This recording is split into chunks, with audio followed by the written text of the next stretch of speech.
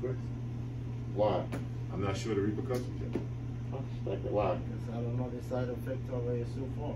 Why? Same thing. In our community and in our department, most of us may feel that it's rushed, but I'm getting it because I had to look at the data and look at the rate of success with it.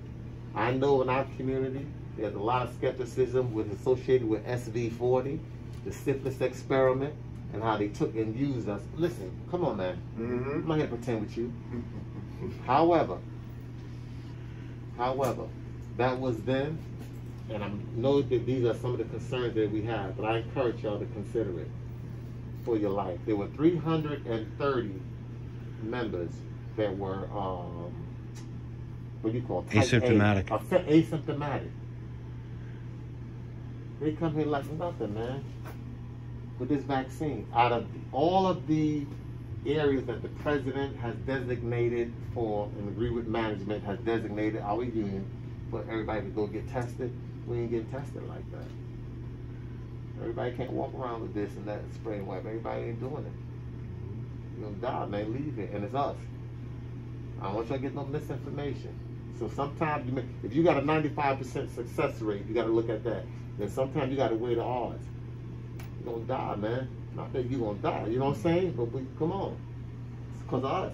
The white man are not susceptible to it like we are.